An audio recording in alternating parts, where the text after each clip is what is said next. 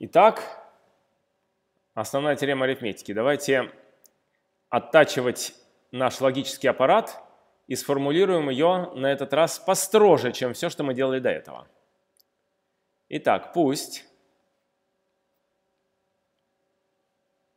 n – это какое-то совершенно произвольное целое число, отличное от чисел минус 1, 0 и 1.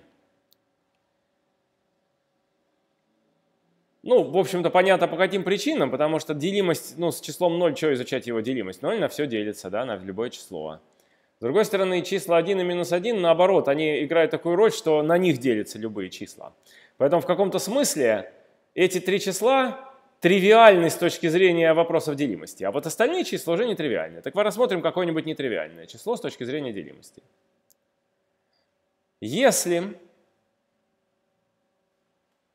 n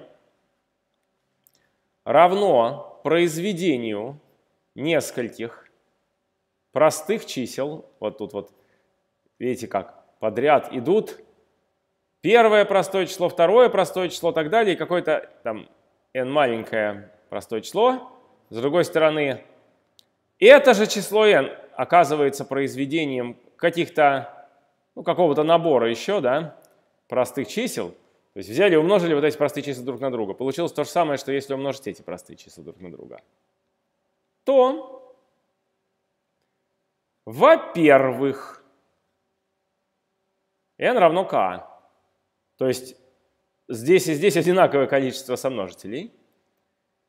А во-вторых, во-вторых, существует перестановка. Давайте еще один значок введем. Существование. Существует существует. Перестановка. Набора. P1 так далее Pn такая, что после нее, после ее осуществления Каждое простое из этого набора равно соответствующему простому из того. P. P новое. И равно плюс-минус QI. Равно, но с точностью до знака, потому что, ну смотрите, я же могу сюда минус единицу вставить, например, и сюда минус единицу ставить. Ничего не изменится. Минус единицу умножить на минус единицу дает единицу. Поэтому не, не получится требовать точного равенства. А вот равенство с точностью d плюс-минус мы сможем потребовать.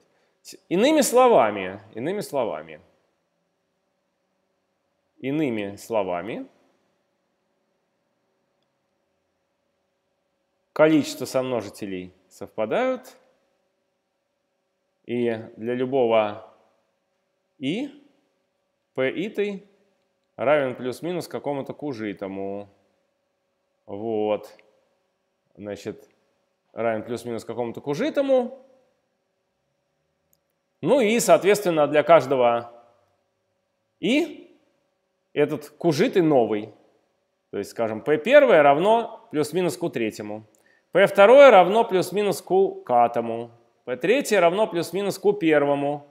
p4 равно плюс-минус, может быть, снова q третьему. Нет, это запрещено.